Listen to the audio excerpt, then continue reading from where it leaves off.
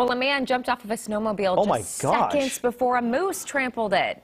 Okay, you got to watch this again. It's going to come uh, come up again across your screen. The man was actually on a family outing in Idaho when the moose started to charge. Luckily, though, no one was hurt. There it is. Oh my gosh.